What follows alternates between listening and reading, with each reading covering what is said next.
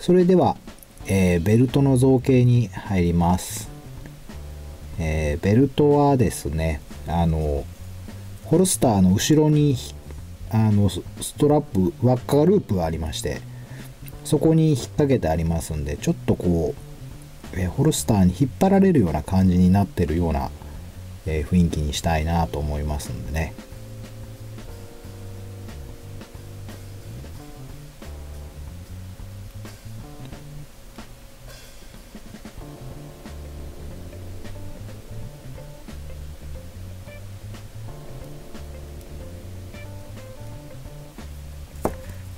このくらいでどうですかね。このくらいでよいしょ。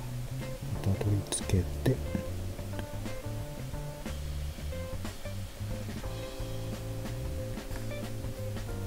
うんいいんじゃないでしょうかね。うん。なんかそれなりの雰囲気が出ましたよね。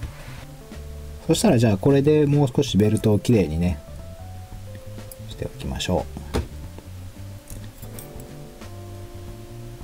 う。で特にこういうこの辺ですね。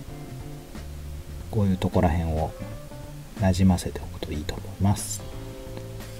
でまあまた2時間ぐらい経ったら、えーもう少し細かいところをきちっと仕上げておきたいと思います。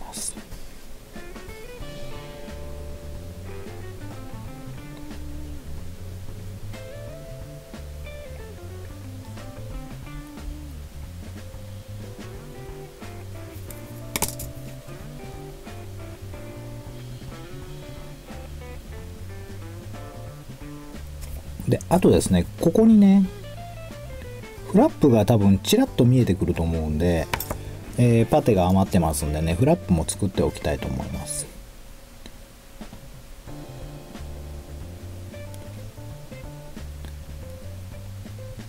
えーちなみにねあのスーツにもこういうポケットのフラップがついてますけれどもあれってあの出して着用するのが正しいって言われてますよね。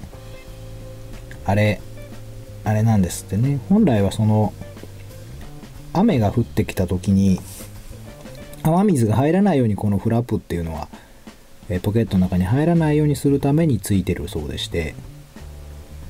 ですので室内ではそのポケットの中に入れてしまっても別に構わないそうです。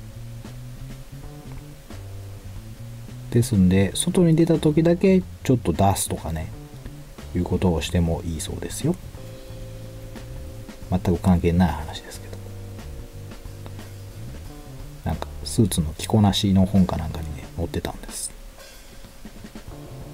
それだけです。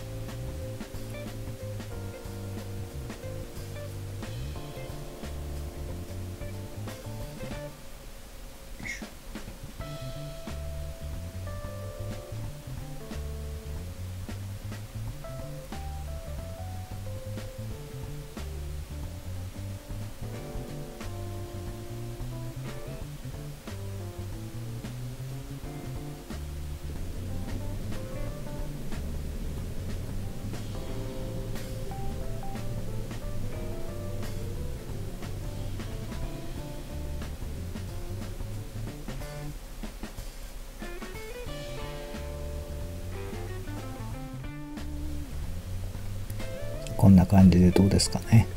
まあまあまあいいんじゃないでしょうかね。あともうちょっと乾いてきたらしっかりベルトの先っちょをねきちっと形を整えたいですね。